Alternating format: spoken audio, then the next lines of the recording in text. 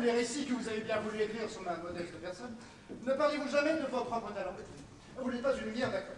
Mais vous êtes un merveilleux conducteur de c'est-à-dire certaines personnes dépourvues de génie ont parfois le don de stimuler celui des autres. C'est pourquoi je vous dois tant, cher Watson. Je prends ça pour un compliment. Mais pour le chien, je vous attends très ferme. Le chien a été dressé pour tenir cette canne dans sa gueule. Mais elle est lourde. Il doit donc la serrer très fort par le milieu. Voyez la trace de ses crocs. La mâchoire est trop large pour un fox terrier, mais pas assez pour un dog. Ce serait donc. Ce serait donc. Ce serait donc. Ce serait donc. Ce serait donc. Un espagnol à poil bouclé. Un espagnol à poil bouclé. Vous êtes sorcier? Non. Le chien en question est devant la maison et son maître va sonner. Ne vous éloignez pas. Il attache une très grande valeur à ce document et il est mort exactement de la façon qu'il craignait. Ce texte est un récit. Oui, le récit d'une légende qui se rapporte à ma famille. Si vous voulez bien vous intéresser à ce qui me préoccupe, monsieur Holmes, il est indispensable que vous la connaissiez. Je vous écoute. Voilà. Le château de Baskerville domine une immense lande marécageuse. En 1642, le châtelain s'appelle Hugo Baskerville.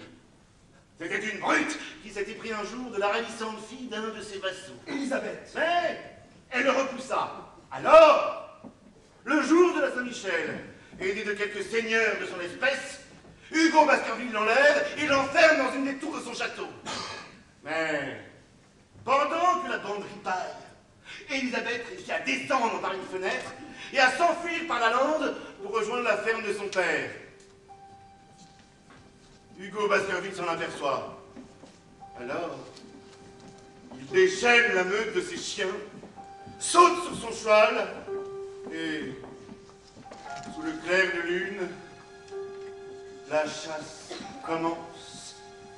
Avec les autres seigneurs. Non. Seul. Les autres n'ont pas réalisé tout de suite. Un quart d'heure après, ils sortent sur la route. Un berger leur dit avoir vu une jeune fille poursuivie par des molosses. Il a même vu bien lui. Derrière Hugo Baskerville courait dans le silence un chien énorme, horrible, qui sortait sûrement de l'enfer. Une demi-heure plus tard, les cavaliers découvrent deux corps. Elisabeth, morte d'épuisement et d'épouvante, et Hugo terrassé par une bête immonde qui lui déchire la gorge. Un chien gigantesque, aux yeux étincelants, aux poils phosphorescents.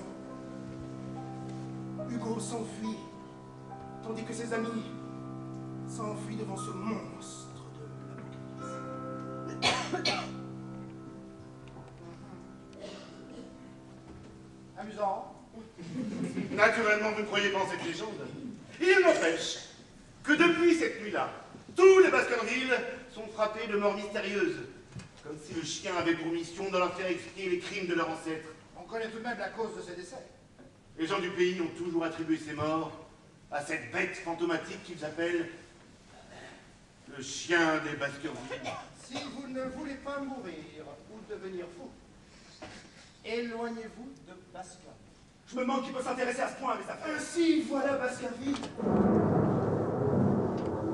Ce château est tel que je l'avais imaginé.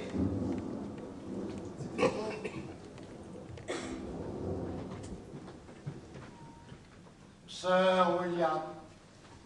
Holmes Sherlock Holmes Oh, oh seriez-vous le célèbre détective Je suis détective, en effet.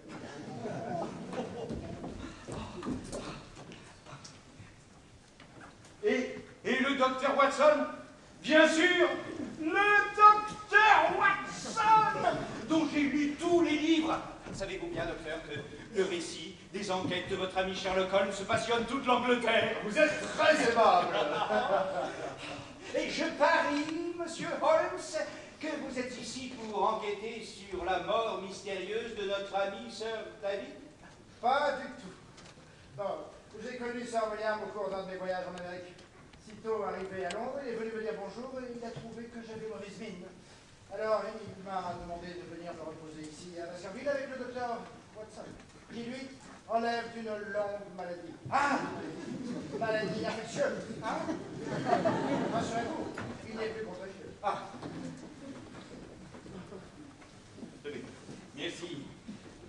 Nous sommes heureux de vous voir ici, Sir William. Pour ne rien vous cacher, le docteur Mortimer et moi-même avions bien peur que vous ne refusiez de venir vivre parmi nous. Pourquoi donc?